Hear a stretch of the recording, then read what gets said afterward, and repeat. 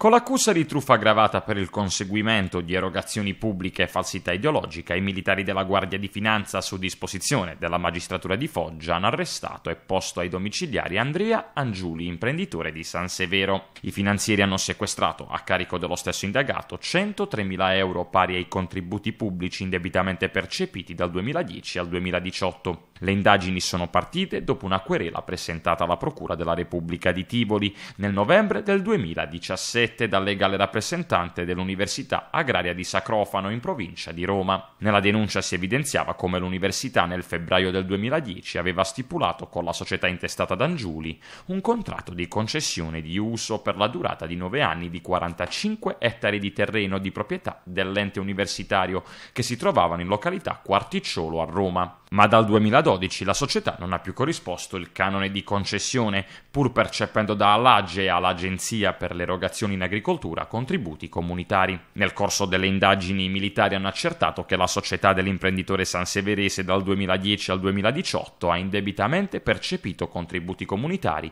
per un importo complessivo di oltre 103.000 euro a seguito della presentazione presso un centro di assistenza agricolo di Foggia di domande uniche di pagamento risultate false. Le indagini hanno invece escluso il possesso di questi requisiti. È stato infatti appurato come la società concessionaria risultasse iscritta nel registro delle imprese nella sezione speciale riservata alle imprese agricole solo dal 2015, risultando comunque senza aver mai svolto attività agricola.